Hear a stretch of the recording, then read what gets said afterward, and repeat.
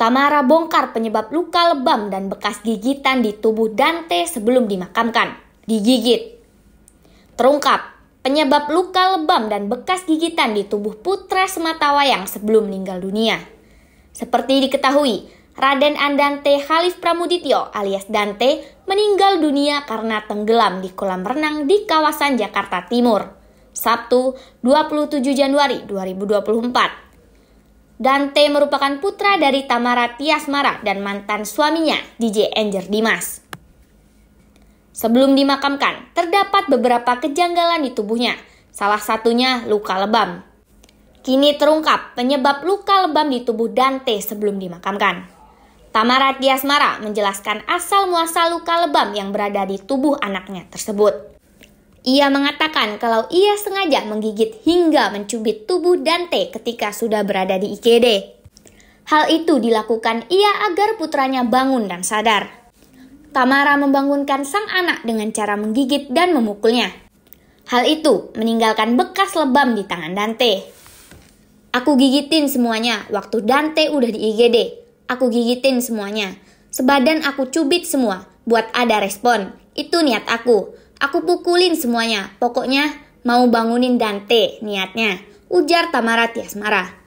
Di tempat pemakaman umum, Jeruk Purut, Jakarta Selatan, Selasa 6 Februari 2024, dikutip kompas.com. Tamara mengatakan, anaknya itu sebenarnya sudah bisa renang karena les renang sejak bayi. Sehingga ia sangat syok ketika tahu sang anak diduga tenggelam hingga akhirnya meninggal dunia. Dante les renang sejak dari bayi, cuma kita nggak tahu fisiknya seperti apa. Kemarin, makanya kita serahkan lagi ke pihak polisian untuk memeriksa semuanya, kata Tamara. Kendati begitu, Tamara kini menyerahkan kasus meninggalnya sang anak kepada pihak kepolisian untuk diselidiki penyebabnya. Ia berharap adanya ekshumasi atau pembongkaran makam anaknya untuk proses otopsi bisa membuka penyebab sang anak meninggal dunia. Berharap pokoknya seadil-adilnya kebenarannya terungkap, ucap Tamara. Sementara kuasa hukum Tamara, Sandi Arifin mengatakan kliennya masih menunggu hasil otopsi dari pihak kepolisian. Sandi mengatakan kliennya bersedia jika diminta penghadiran saksi-saksi yang mengetahui peristiwa tersebut. Tamara juga sudah menjalani pemeriksaan di Polda Metro Jaya pada Senin 5 Februari 2024 terkait meninggalnya sang anak. Hasil otopsi kan sifatnya menunggu. Kita masih menunggu hasil lebih lanjut oleh polisi.